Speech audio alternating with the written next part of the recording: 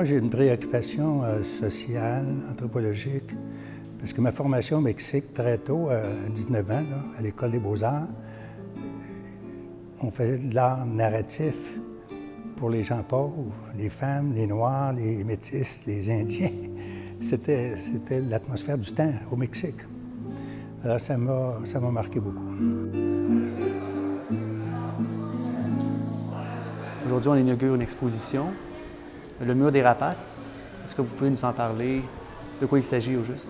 Le mur des rapaces, c'est, une œuvre, beaucoup de, de, murales sur, papier, qui, euh, qui, est partie d'une réflexion de, 2014. L'idée du mur des rapaces s'est provoquée un peu dans l'actualité. Donald Trump qui veut construire un mur entre les Latinos et le Nord.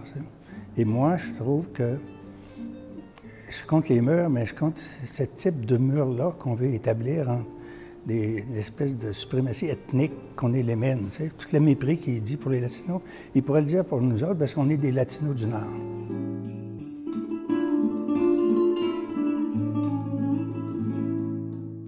Dans l'œuvre, vous allez voir, il y a une, locomotive. Mais la locomotive, les trains, c'est la naissance de l'Amérique. Le Canada est né du train, les États-Unis sont nés du train, et la Révolution mexicaine est née du train. Et le train, si on le voit comme symbole, c'est contraire d'un mur. Alors, le train, pour moi, c'est quelque chose de continental. C'est ça qui crée l'économie de l'Amérique, qui influent le Mexique, les États-Unis, le Canada et le Québec.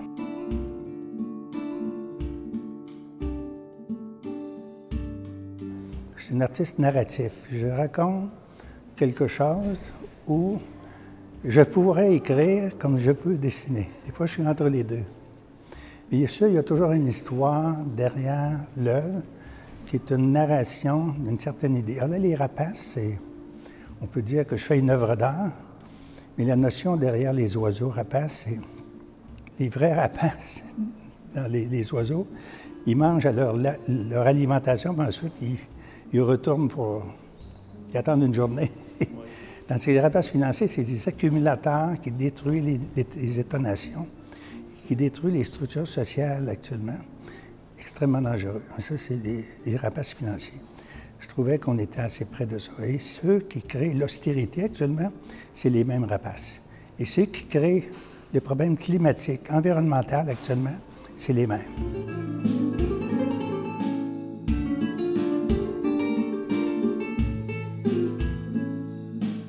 Votre œuvre, elle est contestataire, elle conteste euh, ce monde de rapaces dans lequel on vit? Moi, je ne suis pas un artiste contestataire à faire des graffitis. Je fais une œuvre d'art avec une réflexion. Je me dis, euh, quelqu'un s'y arrive en face de mon œuvre, ça lui donne l'idée de penser à ça parce que j'ai un texte manifeste. Mais quand tu lis ça, ensuite tu vas voir les œuvres, c'est beau. C'est des belles œuvres, c'est bien fait. Puis il dégage une certaine beauté de ça. Mais si, suite à ça, tu as une réflexion sur la situation politique, je suis content. Mais ce n'est pas, mon, pas mon premier but. Ce n'est pas une exposition manifeste politique, mais contenu politique.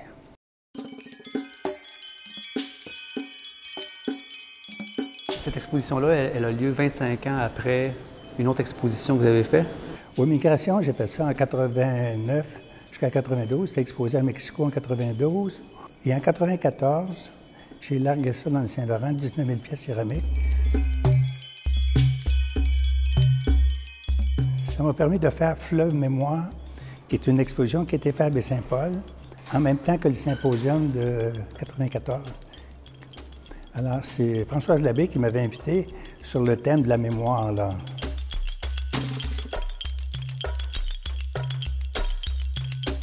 Ma famille est reliée au fleuve. Puis, de façon tragique, j'ai perdu mon frère et mon père noyés dans le fleuve. et le fleuve est la voie de la migration de l'Amérique. il y a un don au fleuve, puis il y a la fin d'un grand rituel sur le deuil par rapport à cette, euh, ce largage-là. Et les statuettes qu'on voit aujourd'hui en céramique? On en voit une. C'est des statuettes qui ont été. Euh, il y a eu 19 000 pièces de larguées, mais il y a 250 statuettes qui ont été données à 250 personnalités un peu partout à travers le. surtout au Québec, mais aux États-Unis, avec une lettre disant Vous êtes porteur d'un migrant. Puis c'était pour se souvenir de l'œuvre du largage migration. Alors, la pièce qui est exposée ici, c'est la seule. Un collectionneur qui l'a eu, qui l'a donnée un jour au musée.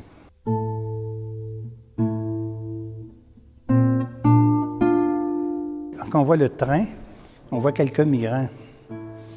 Parce que le mur des rapaces, dans le fond, on sait pourquoi. Le mur de Donald Trump, c'est pour empêcher la migration du Nord. Alors, j'ai renoué en faisant quelques migrants. Mais c'est incroyable. Mon travail date de 30 ans, mais de 30 ans, on ne parlait pas de migration, comme on en parle aujourd'hui. Et moi, je ne savais pas qu'un jour, c'était pour être dans une actualité planétaire. C'est planétaire. C'est un problème qu'on doit tous se poser. Qu'est-ce qu'on fait? Moi, je n'ai pas la solution, mais qu'est-ce qu'on fait avec la migration? on est un immense pays, puis il y a des pays qui sont défavorisés, mais défavorisés par le système politique. Alors, plutôt que de développer leur pays pour les empêcher de migrer ici, on les affame, elles sont obligées de monter. C'est ça le problème.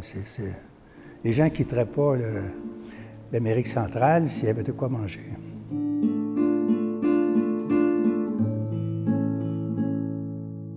Sur le plan technique, comment vous avez fait vos œuvres? Sur le plan technique, euh, c'est pas très compliqué. c'est pas compliqué. J'aime beaucoup travailler sur le papier parce que j'ai étudié au Japon aussi. Le papier, c'est très tactile. Et le bois. Moi, je trouve qu'on on vit dans un pays de bois. Le Québec, c'est rempli de lacs puis d'eau, puis rempli de bois. Là. Je trouve que je, suis bien avec le bois. Mais la technique, ça vient beaucoup de la gravure. C'est toujours gravé, puis euh, Ensuite, c'est peint. On peut dire que ça s'appelle des bois reliefs polychromes.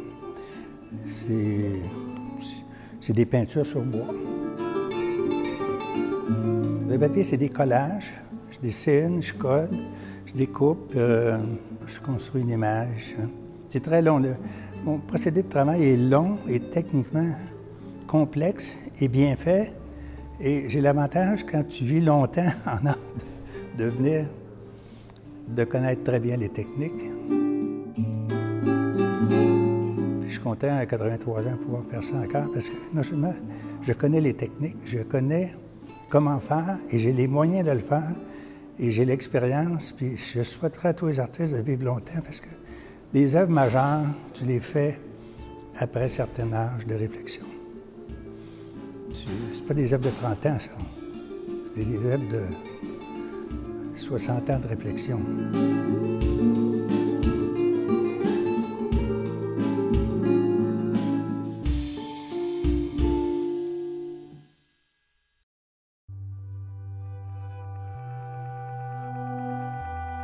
Jacques c'est un artiste avec qui on travaille à la Galerie Simon Blais depuis plusieurs années. On représente donc la succession maintenant. Et là, c'est une expo qui survole les années 60, 70 et début 80. Alors, euh, c'est un artiste euh, à la limite dépendant des périodes, à la limite entre les euh, plasticiens et les automatistes. Et donc, il a joué un peu sur tous les plans. Évidemment, ça a évolué, mais c'est d'abord et avant tout la couleur, son matériau de prédilection.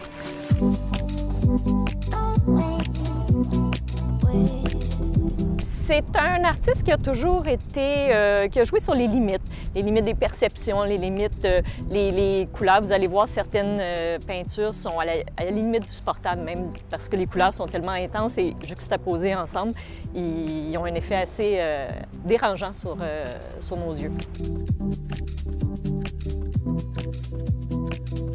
c'est souvent des taches qui sont arrêtées, des mouvements, des zigzags qui vont être coupé.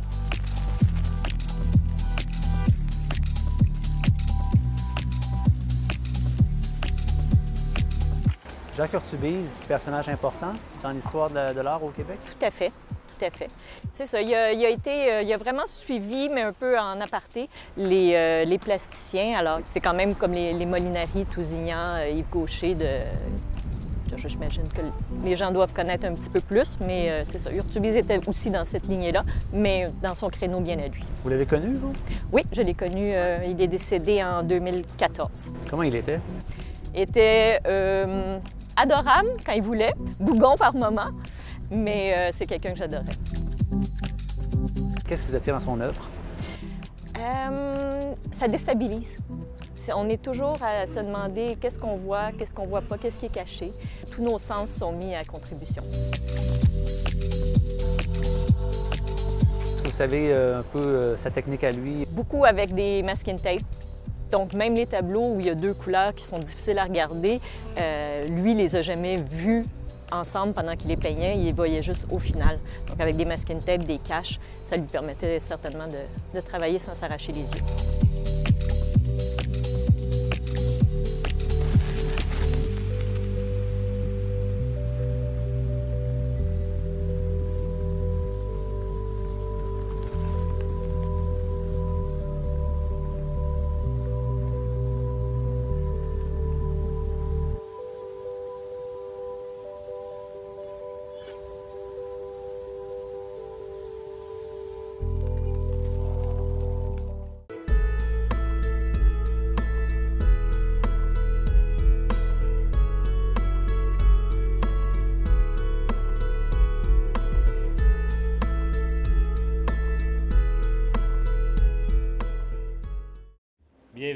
Merci d'être ici avec nous aujourd'hui. Vous savez, un, vernissage pour nous, c'est toujours important.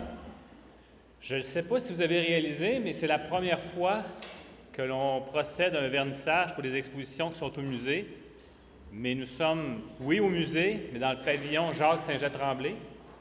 On s'est dit que nous allions l'essayer. Nous avons une belle salle faite pour accueillir des gens. Alors, merci d'être ici. Nous avons M. Fournel qui est ici avec nous. Je voudrais vous remercier personnellement parce que M. Fournel nous a aidés financièrement pour euh, le lettrage puis euh, la salle qui est ici. Alors, merci beaucoup. Euh, comme je vous disais, c'est un grand moment pour nous. Chaque fois que nous avons des expositions, les gens avec qui on travaille, les commissaires, saluent le travail incroyable fait par l'équipe du musée. Je veux les remercier. Ils sont ici avec nous. Comme vous allez voir, quand nous allons traverser à, la fin des discours, vous allez constater la qualité du corpus. Alors pour ça, je remercie les commissaires.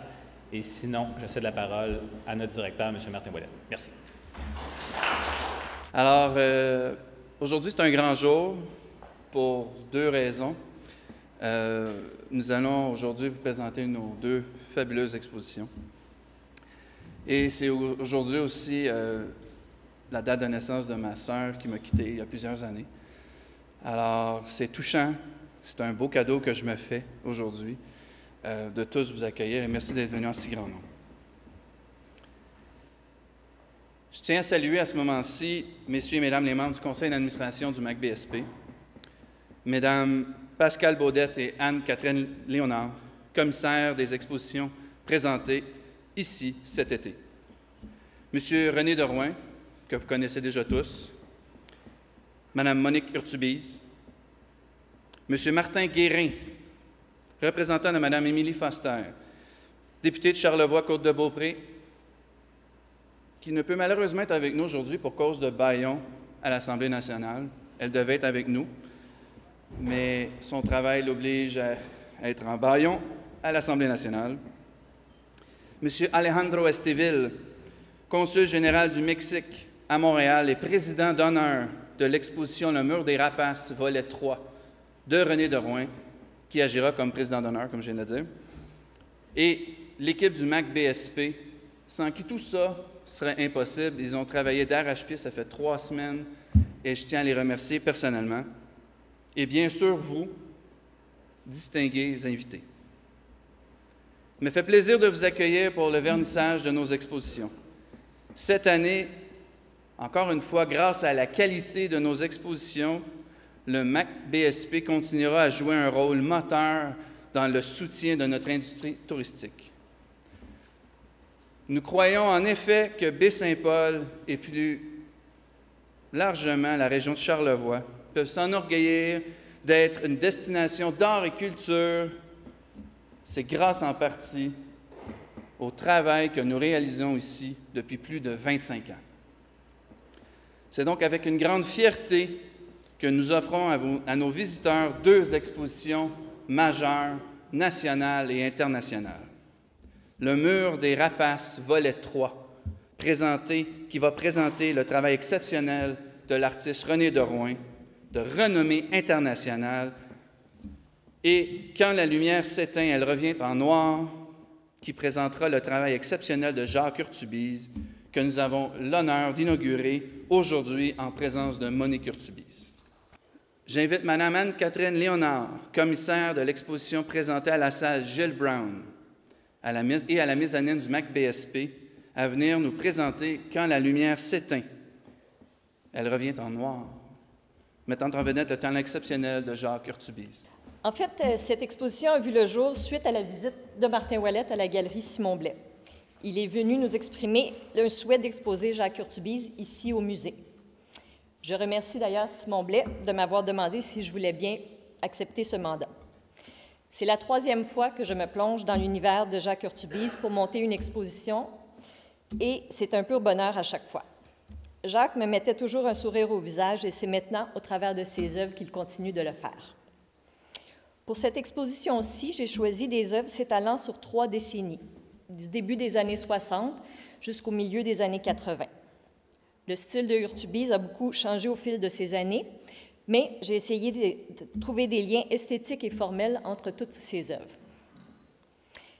Jacques se jouait toujours de nos perceptions, mais je trouve que dans une œuvre telle que Nénette, qui est sur la mezzanine en haut, il était arrivé à une subtilité qui me fascine. Ce tableau fait partie d'une toute petite série d'œuvres qui s'appelle les Blackouts, que j'affectionne particulièrement. D'où le choix de cette phrase dite un jour par Jacques Quand la lumière s'éteint, elle revient en noir. Se plonger dans l'œuvre de Urtubise, c'est accepter d'être déstabilisé et que tous nos sens soient remis en question. Il n'y a pas de compromis dans son travail. Je remercie infiniment Monique Urtubise qui m'a donné accès à tout ce corpus d'œuvres. C'est un véritable privilège et je me sens très choyée. Je remercie également Christiane Deshaies et Guy Lepage pour leur aide extrêmement précieuse dans toute cette aventure. Et merci également à Sylvie et Simon Blais pour leur confiance en moi depuis maintenant 20 ans. Merci. Alors, merci beaucoup, Madame Anne-Catherine Léonard. À n'en pas douter, la démarche et l'œuvre de René de Rouen imprègnent le territoire de Charlevoix depuis des décennies. Car non seulement 2019 marque le 25e anniversaire du largage de 19 000 statuettes au fond du fleuve Saint-Laurent, mais également celui de l'exposition Fleuve Mémoire, présenté au MAC-BSP en 1994. Afin de, de, souligner ces moments historiques, nous avons préparé un clin d'œil qui prend la forme d'un diaporama réalisé à partir d'archives disponibles, diaporama qui sera projeté durant toute l'exposition dans le hall de notre magnifique musée. Je tiens également à souligner qu'avec l'acquisition et l'installation de la sculpture Le Phare, hommage au Cirque du Soleil et au largage au fleuve Saint-Laurent en 2008, une part de René de Rouen habite maintenant en permanence dans Charlevoix. Situé à proximité de la gare de train de Baie-Saint-Paul, ce monument d'art public s'ajoute aux nombreuses sculptures, peintures, gravures de De Rouen qui font partie d'une imposante collection de notre institution. Avec le mur des rapaces, volet 3, De Rouen revisite son continent et porte un regard nouveau sur le monde qui l'entoure. Et c'est un honneur pour le Musée d'art contemporain de Baie-Saint-Paul d'accueillir à nouveau ce grand artiste qui ne cesse de se renouveler à chacune de ses pérégrinations. Je vous demande d'accueillir chaleureusement Madame Pascale Baudet, commissaire de l'exposition René de Rouen, Le Mur des Rapaces, volet 3. Alors bonjour à toutes et à tous. Je suis très heureuse de vous présenter l'exposition Le mur des rapaces de René de Rouen, mais avant de le faire, je voudrais vous parler du travail d'un commissaire. J'ai constaté en effet que beaucoup de gens ne savent pas vraiment à quoi il consiste, et ce, même dans le milieu de l'art. Qu'est-ce qu'un commissaire? Les Français disent maintenant curateur, et si ce n'était un anglicisme, j'adopterais ce terme qui, en latin, signifie celui qui prend soin. Loin de vouloir contrôler l'artiste, une commissaire prend soin des artistes avec qui elle travaille. Elle prend soin de construire sa pensée dans l'espace en situant chaque œuvre en résonance avec le lieu, avec les autres œuvres. Cette narration spatiale produit un sens, une lisibilité qui facilite la perception des œuvres et améliore leur compréhension. Une commissaire prend soin d'écrire sur les artistes qu'elle expose pour faire valoir le point de vue plastique qu'elle privilégie. Une commissaire est une auteure, non seulement des textes qu'elle rédige, mais de l'exposition qu'elle présente conjointement avec l'artiste. C'est donc, à mon point de vue, aussi un travail de création. Pour en revenir à l'exposition pour laquelle nous sommes réunis, elle tire son origine d'un projet qui s'est déroulé au Mexique en 2018 et qui était constitué de deux expositions, l'une à Guadalajara et l'autre à Mexico. L'exposition de Guadalajara se trouvait être une quasi-rétrospective avec des œuvres de plusieurs périodes réparties dans cinq salles. René m'avait demandé de faire une sélection à partir de cet événement. Dans le magnifique espace de l'ex-convento del Carmen, j'ai dû faire des choix difficiles, puisque cinq salles accueillaient les œuvres de René, sélectionnées et mises en espace par deux commissaires mexicains et leur travail était vraiment impressionnant. J'ai donc décidé de me concentrer sur le travail récent de René, soit celui depuis 2013, avec quatre polyptyques intitulés Le mur des rapaces et plusieurs œuvres sur papier. Au-delà de la cohérence des œuvres récentes, il fallait aussi trouver une ligne directrice, un fil rouge, en suivant le thème que René a travaillé, j'ai constaté que le vol tournoyant des rapaces était une constante dans ses œuvres. Le cercle a donc guidé mon choix, symbole de l'éternel retour et de l'infini. Et pour montrer aussi qu'il a été utilisé précédemment par l'artiste, j'ai retenu quelques œuvres de la série des constellations qui ont été faites en 2013. La pièce de résistance de l'exposition est un relief sur bois de quasi 11 mètres de long, une œuvre phare qui synthétise le travail de 30 ans tout en le positionnant dans un contexte contemporain. Comme le disait euh, Martin, l'exposition au Musée d'art contemporain est doublement importante pour René parce qu'elle commémore le 25e anniversaire du largage de 19 000 statuettes au fond du fleuve Saint-Laurent.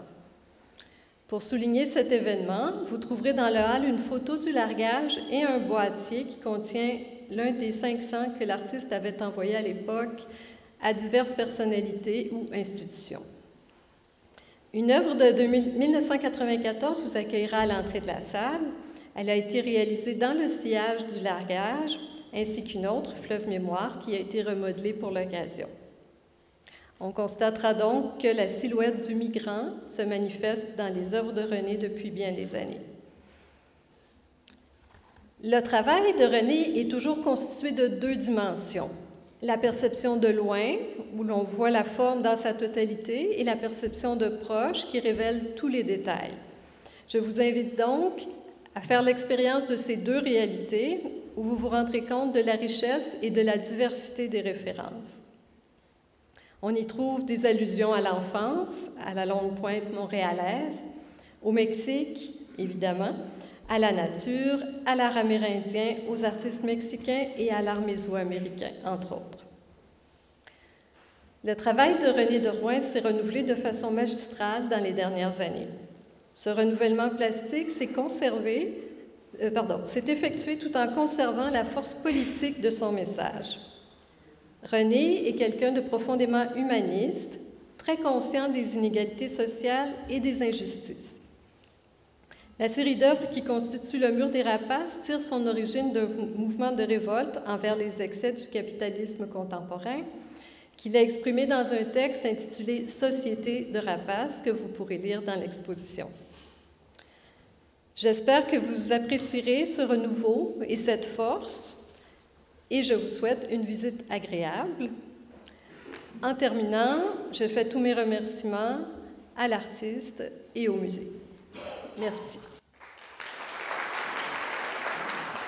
Qui d'autre que celui qui a largué 19 000 statuettes au fond du fleuve Saint-Laurent en 1994, pouvant revenir au MAC BSP avec une exposition aux milliers d'oiseaux?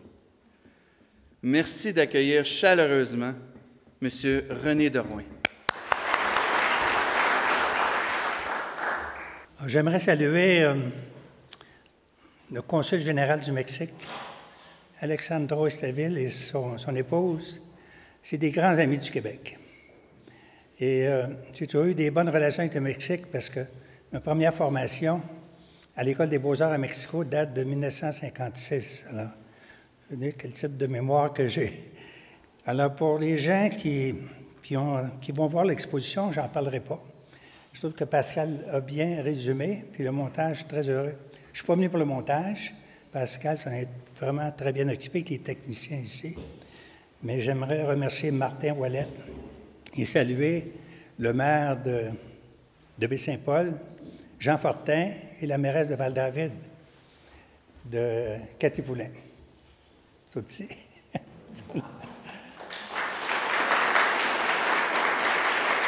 je, trouve que c'est une belle relation. Baie-Saint-Paul, Val-David, là, quand tantôt on a dit là, culture et public et éducation, c'est la mission de Val-David et c'est la mission de, de Baie-Saint-Paul. Alors, euh, je ne parlerai pas de mon exposition, je vais vous parler un peu, je vais vous raconter une histoire. Parce que moi, je suis un artiste narratif. comme Luc Bureau qui en faisait. J'aurais pu écrire. J'ai décidé de dessiner.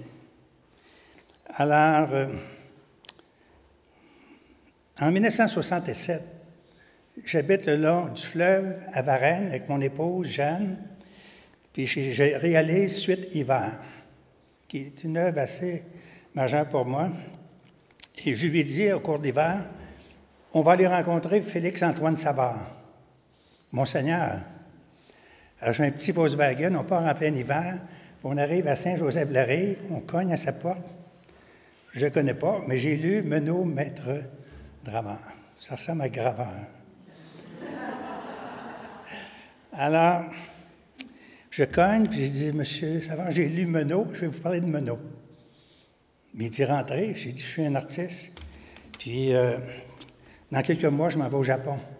Il dit, ma solution, parce qu'il partait les papiers Saint-Gilles, puis j'ai des problèmes de séchage avec le papier. Les Japonais sont les grands maîtres du papier fait main. Alors, il y a eu une belle relation.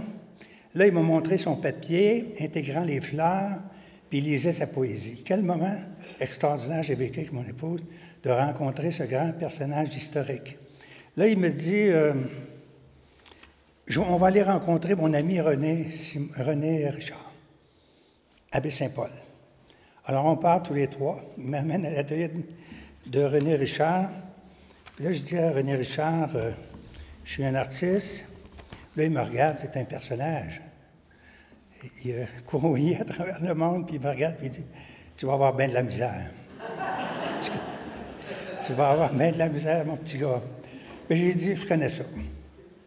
Je vis dans une maison de pierre, je me chauffe au bois, puis quand je vais une œuvre à Toronto, j'ai de quoi vivre pour deux mois. Mais il dit Tu vas voir, c'est dur. Alors, euh, cette relation-là avec ces deux personnages, ça me donne certaines racines avec Bessin-Paul et ça va se concrétiser avec l'amitié que j'aurai pour Pierre Perrault.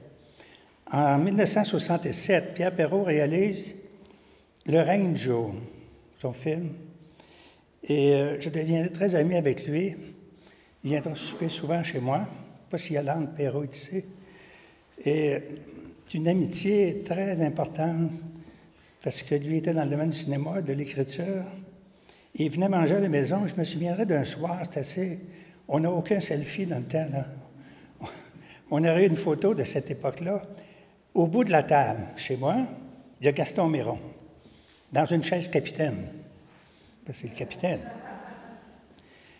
L'autre côté de la table, Pierre Perrault, un autre capitaine. Alors j'y passe, j'ai deux chaises capitaines chez moi. Ça soit Pierre Perrault. Au centre, Yolande Perrault. Madeleine La France. Jean Royer. Michael Jean. Jean-Daniel Lafont. Jeanne et moi. Imaginez le souper. Ce que j'ai demandé à mon épouse de faire un souper à tous ces gens-là, là, c'est un souper. On aurait dû avoir une photo de ce moment-là, qui était historique, avant que Michael Jean devienne gouverneur, et on connaît l'histoire à suite. Alors, en 1993, je suis en Islande. Je voyage toujours du nord au sud.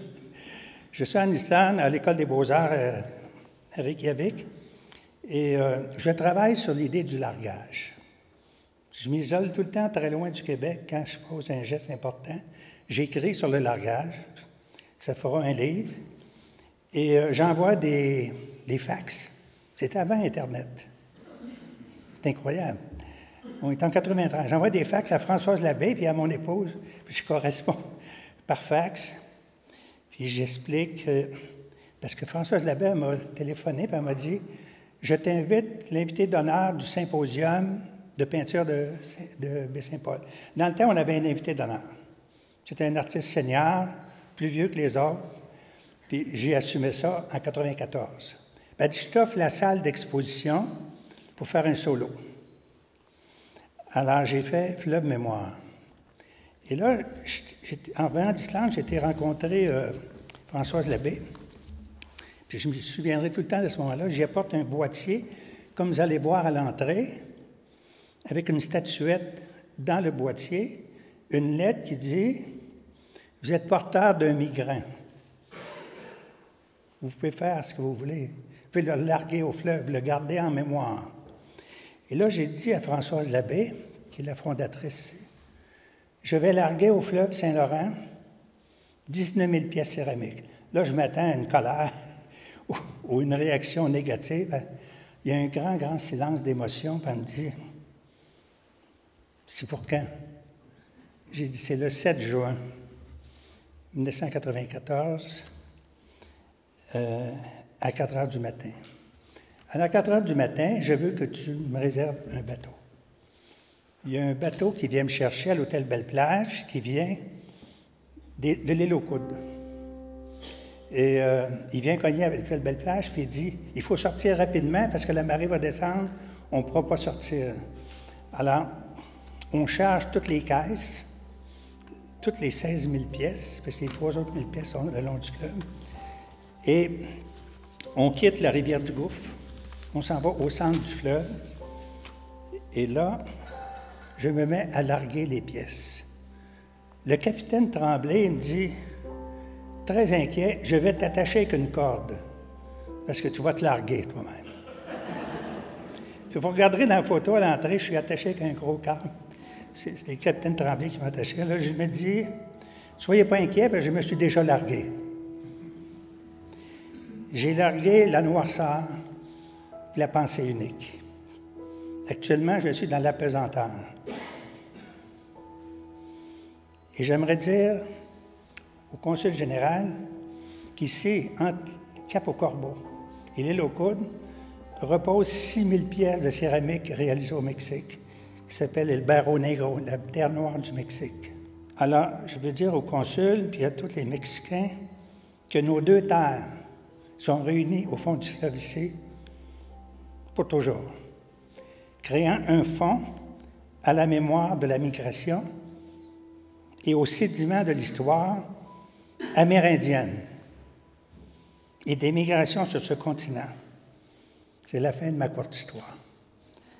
Mes amis des Amériques, je suis contre toutes les murs. Merci beaucoup.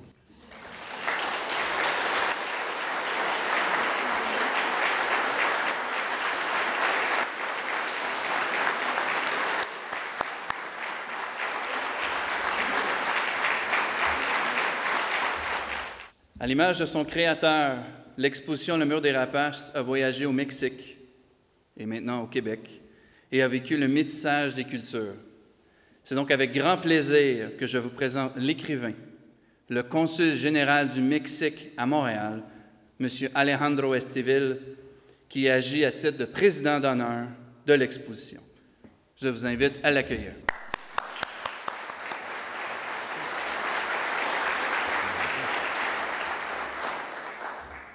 Merci vraiment. Imagine comment est-ce que je peux me sentir après les mots de M. René Deroy? C'est difficile de parler vraiment ici, mais j'ai une raison double pour être remerciant d'être ici à Baie-Saint-Paul. La première chose, c'est que je suis le président d'honneur de cette exposition et je sens l'accueil de tous vous, de mon épouse ici. nous sommes vraiment heureux, plus que ravis de la première fois que nous visitons Baie-Saint-Paul, d'être dans cet endroit et avoir l'opportunité de visiter cet incroyable musée que nous avons déjà écouté plusieurs fois, l'importance de ce musée. Mais la deuxième raison est René et l'amitié que nous avons avec René Rouen. Nous avons déjà visité deux ou trois fois euh, Val-David et nous connaissons René et ce qu'il signifie comme un pont entre le Mexique et Québec. La semaine dernière exactement, et, euh, un homme euh, du Mexique, le directeur général pour euh, les, communautés mexicaines euh, dehors du pays, m'a posé la question, parce que nous sommes en train de faire un forum pour les communautés mexicaines qui sont au Canada, qu'est-ce que je peux, mentionner comme les plus importantes choses qui arrivaient entre le Mexique et Québec? J'ai pensé, la réponse a été, une histoire d'échange culturel. Nous avons plusieurs des choses entre le Mexique et Québec, mais le plus important pour moi, c'est les échanges culturels artistiques, parce que nous avons, par exemple, un programme d'échanges d'artistes chaque année, deux, trois, six, huit artistes québécois euh, voyagent au Mexique, et les mêmes arrivent avec les, les Mexicains qui sont ici au Québec. Et ça, d'une manière ou l'autre, a débuté avec un homme qui s'appelle René Derouin, qui est plus de 72 ans. Il était arrivé au Mexique, a commencé sa vie artistique exactement à mon pays. Et pour ces raisons, je pense qu'il symbolise d'une manière ou l'autre la force de cette euh, liaison. Et je suis très privilégié, ma famille se sent très privilégiée que nous avons vivant ici l'homme qui représente ces pontes des liaisons entre mon pays et la nation québécoise. Et l'exposition ressemble à tout ça. Et le plus important pour moi est que cette exposition, comme Pascal l'a déjà dit, a une force incroyable et une grande, grande actualité. Tous les sujets de la, de, de, la exposition sur les rapas de René de parlent de la migration, parle de la force de l'immigrant, parle des emblèmes mexicains, parle de, la force culturelle d'un grand pays comme le Mexique qui continue à être en puissance culturelle pour tout le monde. Et je pense que choses comme ça sont les plus actuelles et René les symbolise. En 2016, quand nous avons eu la présence du Mexique comme les pays, les pays d'honneur au Salon du Livre de Montréal, à côté des pavillons du Mexique, était un pavillon René de Rouen. Et tous les gens arrivaient, parlaient sur l'écrivain mexicain, immédiatement parlaient, et euh, étaient les amis de René. Puis, a été génial vraiment d'avoir l'opportunité de présenter la, littérature mexicaine à côté de l'art et de la présence de René de Rouen. Pour ces raisons, et imagine comme je me sens, seulement ça. Merci à Martin Oulette comme directeur pour nous accueillir vraiment. Et merci à tous les gens qui ont fait possible l'exposition, bien sûr l'exposition de Jacques Ortobis, mais surtout l'exposition de René Derouin. Merci à la mairesse le maire de Val-David et ici de Baie-Saint-Paul. Et merci à Pascal, parce qu'il a fait un grand, grand travail. Et surtout, pour moi, pour ma, mon épouse, pour ma famille, merci à l'amitié d'avoir l'opportunité de, conocer, eh, de, de, la connaissance de René de Rouen. Muchas gracias a todos. Es un gran, gran placer ser un mexicano en este momento. Gracias.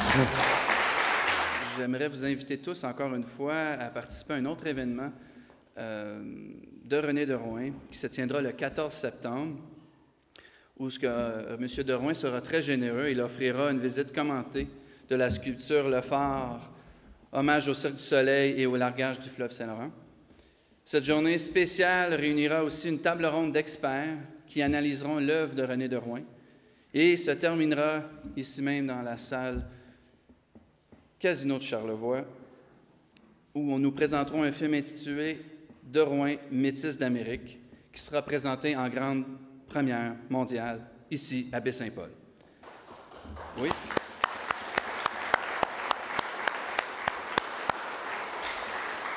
Donc, c'est à ne pas manquer. Nous voulons aussi remercier nos partenaires, sans qui nos expositions seraient impossibles. Alors, Québécois, titre de présentateur principal de notre exposition, la galerie Michel Guimont, le gouvernement du Québec, la ville de Baie-Saint-Paul et Monsieur le maire, merci beaucoup, vous êtes ici avec nous. Le Casino de Charlevoix, représenté par Philippe Chantal, et aussi l'Auto-Québec, Madame Dominique Villemer, Hydro-Québec, Desjardins, la MRC de Charlevoix, l'Hôtel et le Spa Le Germain Charlevoix et M. Thierry Eck, je vous remercie également. Je vous remercie tous de vous être déplacés ici aujourd'hui. Maintenant, on se déplace de l'autre côté et vous allez visiter nos expositions grandioses. Merci et j'invite les gens pour une photo officielle et on se revoit de l'autre côté. Merci.